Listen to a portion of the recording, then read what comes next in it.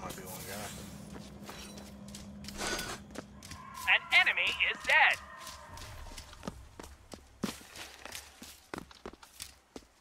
Oh, there's two of them. Let's run. Let's run back, and then you can. I'll. I didn't set nothing. That's alright. Go set it in that building. Set it in that building. I'll stall them. Oh shit! They're right behind us. They see me set it. Another contestant just got hacked into pieces with a razor sharp blade.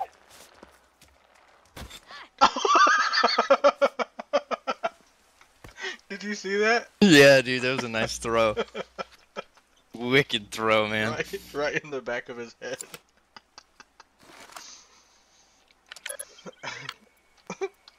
so much fucking luck.